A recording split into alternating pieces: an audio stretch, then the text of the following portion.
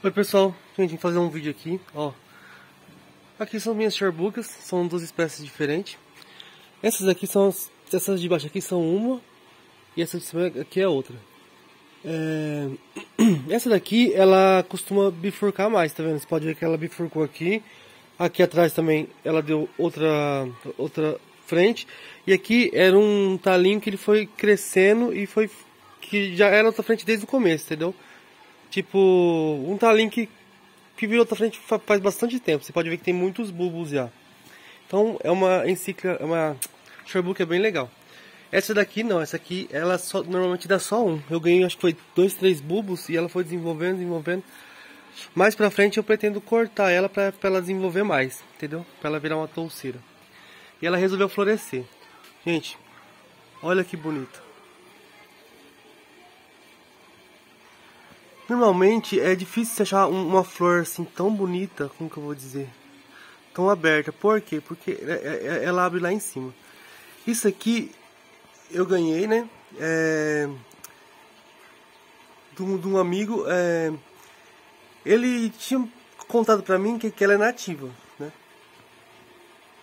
Onde a mãe dele mora, que é tipo uma gleba no caso, tinha. é perto do rio e tinha bastante touceiras. Então ele tinha uma das touceiras, aí ele me deu alguns bulbos, né?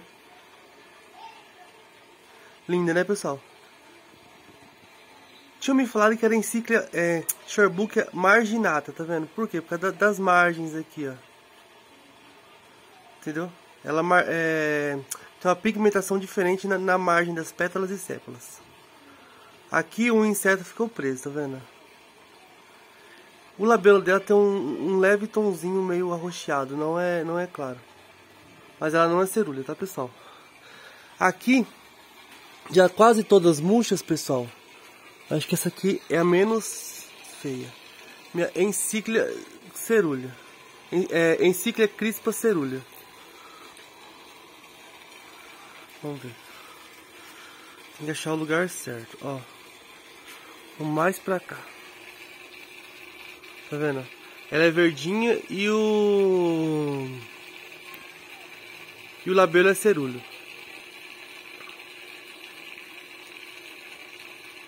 Lindinha, né, pessoal? Essa aqui é uma encíclica que eu comprei há um tempo atrás do Galera Neurchites, né? É uma encíclica mais difícil de achar, né? Por ser uma variedade. Normalmente você acha mais a alba, e mesmo assim a alba é difícil. E aqui eu tenho a encíclica crispa alba.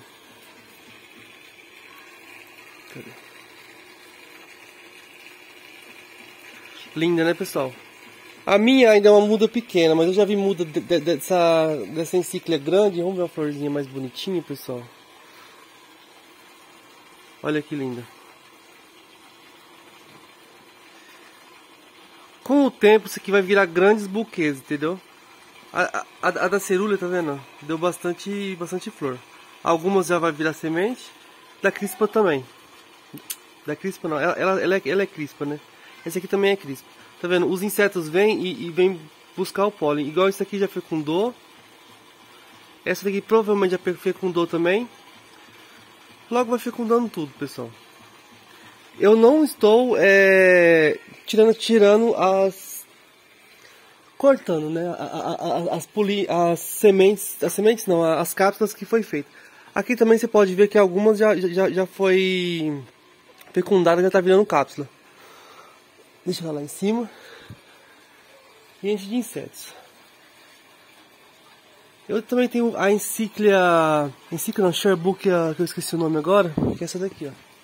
Nunca floresceu. Esse ano ela, ela, ela, quis florescer, mas acabou é, não florescendo. E também tenho essa outra aqui, ó, que vai demorar uns 30 anos para florescer.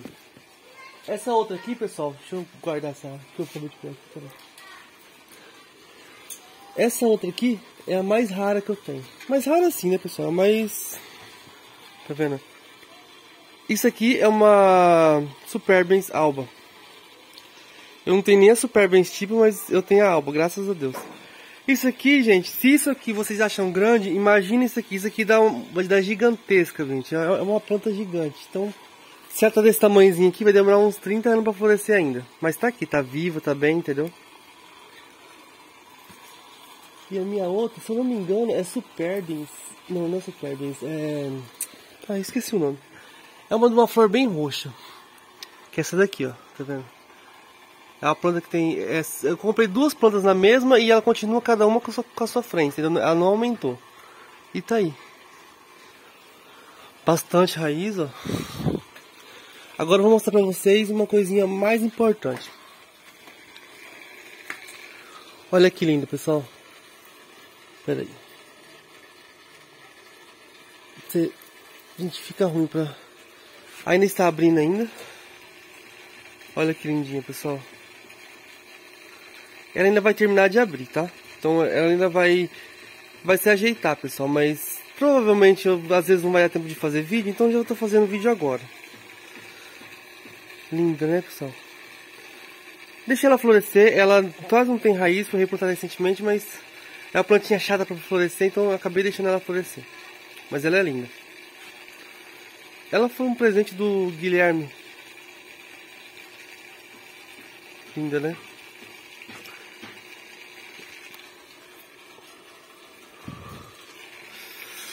É... Aqui tem outra, pessoal. Eu não lembro se eu mostrei essa aqui no vídeo, não tenho certeza.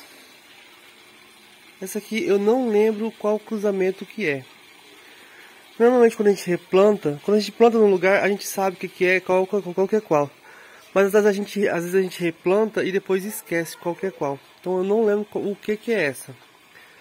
Essa de cima eu lembro que é do. Foi meu amigo Thiago que, que me deu uma traseirinha da, da planta dele lá. A 14 com a 15 se eu não me engano. Esse ano eu acho que ela não floresce, mas ela tá vegetando, tá vendo? Plantada recentemente também. O que mais?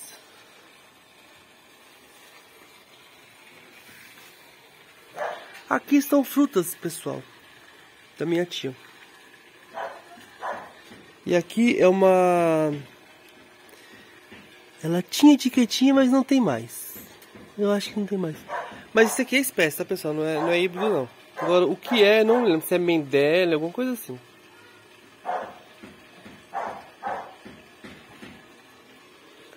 Vamos ver. Persivalianas acabando já. Gente, é, Persivaliana é uma planta que eu amo pra caramba. Minha alba ia florescer esse ano, mas não floresceu Persivaliana lá também, né? A, a, as minhas Anseps floridas ali. O que mais?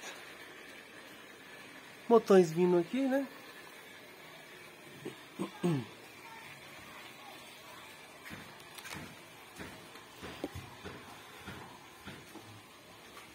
Ah, olha que bonitinha, pessoal.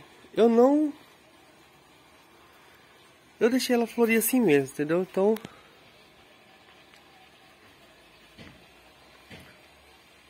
Mas é bonitinha, né? Fala a verdade. Olha a cor desse labelo. Normalmente essa planta é uma planta que dá uma flor gigante. Foi replantada o ano passado também, então... Ela dá uma flor gigante e... Pétalas são bem, bem grandes, então ela não tem forma boa. Ela normalmente ela enverga bastante. Esse deu pequenininha. Às vezes se eu tivesse estaqueado ela, deixado ela certinha, ela poderia ter aberto melhor, entendeu? Mas como eu não estaquei e deixei ela abrir normal, então ela, ela foi isso. Aqui tá a minha nativinha aqui também, ó. Foi replantado é, o ano passado. Essa planta, pessoal, eu quase perdi ela. Eu tinha uma, uma planta que vegetava super bem. Eu comprei uma mudinha no caso, uma mudinha, uma mudinha, não é uma mudinha. Comprei num tronquinho, é, alguns, como chama, ela tinha alguns bulbos, era um corte. Aí você via que era uma planta meio difícil de florescer, aí em casa ela começou a florescer, né? Porque lá ela recebia bem menos água do que aqui. Aí aqui começou a receber bastante água, aí ela começou a florescer. E começou a vegetar bem, sabe? Aumentou pra caramba, entendeu? Mas o que aconteceu? Deu uma doença nela. Aí eu tinha tirado um, um pequeno corte, né? Acabei perdendo a planta inteira.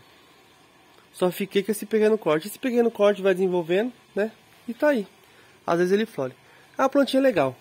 Ela, ela, ela, é fina, tem um labelo bonito, mas é bem armada pelo menos. Logo teremos as ludbanianas, que é uma planta que eu gosto pra caramba. Eu acho que é só, pessoal. Ó. Você fala assim, ah, minha planta não floresce. Ó, ó, essa planta é uma persivaliana. Olha o tamanho que tá isso aqui, tá vendo? Olha o tamanho desses bulbos. Olha o tanto de bulbo novo que já nasceu. Esses bulbos pra cá, ó, são bulbos antigos, tá vendo? Os, os bulbos que vieram. Ó, já, já estão acho que uns dois anos mais que tá aqui, ó. Esses bulbos novos e não floresce. Coloquei ela bem no sol aí pra tomar mais sol. Pra ver se vira alguma coisa, mas também não floresce. Às vezes essa planta é aquela planta que tem daqueles bulbos gigantescos, sabe? Mesmo sendo uma persivaliana. O que mais?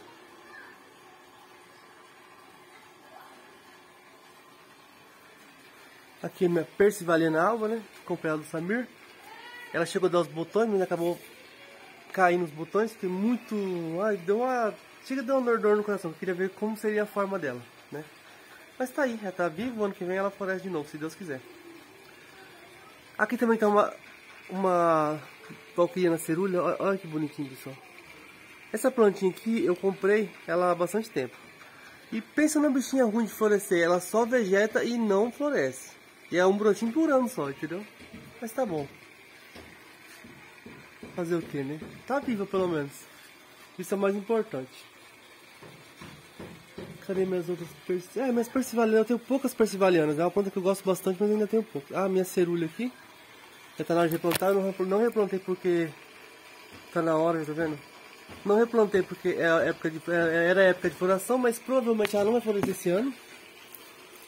Vai dar pra me replantar ela. Tá vendo? Ou vai florescer ainda. Tá vendo? Mas ela não tem uma forma boa, viu, pessoal? Não é aquela cerulha... Eita, que cerulha bonita. Mas é uma cerulha. Então tem a alba, tipo e cerulha por enquanto. Só não tem o vinicolor. Gente, basicamente acho que era isso que eu tinha pra mostrar pra vocês. Gostou do vídeo, se inscreva no canal. E até a próxima. Vou mostrar pra vocês aqui, pessoal. Olha que bonito, meus coleus. Gosto bastante, né? Tem algumas mudas aqui. Isso aqui eu plantei para plantar no meu terreno, né? Mas meu terreno eu, eu molho quase todo dia e pra, pra aquele solzão, sabe? Isso aqui não ia dar certo lá. Olha, olha a cor disso aqui. Aí você vê uma velha abaixo uma corzinha sem graça. Você vê as primeiras folhas. Olha que cor bonita. E essa variedade aqui também é bem bonita, ó.